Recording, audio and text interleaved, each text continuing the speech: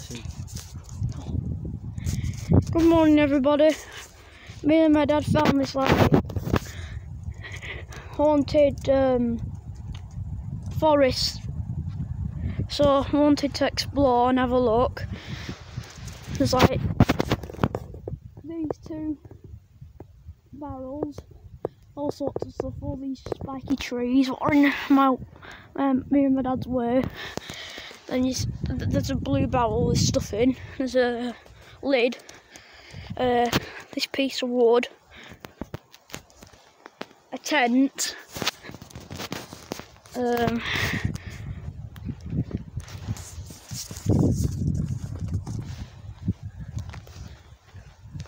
there's more stuff coming to the, there's more stuff coming,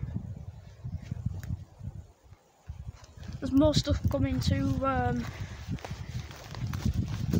to the video. There's like these things, like these black things, there's like an old fire, and like all these like branches what have come off the um, tree, and all these like weird pine cones, and then.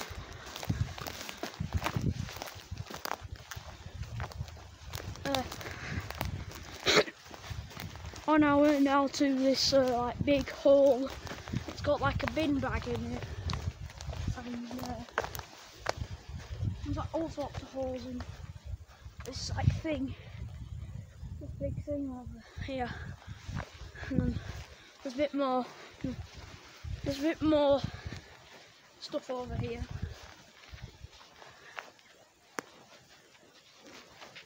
We uh, are going to do. Right, so meeting over here, yeah, so we're going to take over a look at to what's around here.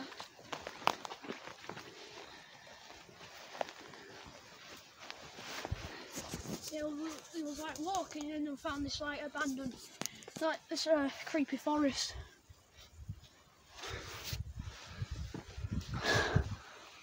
And then there's like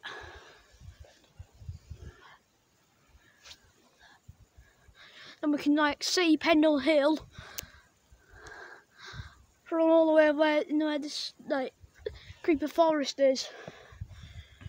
So we can like see Pendle Hill and uh, all the, the towns in Lancashire like Colne, Nelson, Blackburn, Barlick, Barnoldswick and um, other towns, Earby and Salford and like that. Three other towns like like in Lancashire.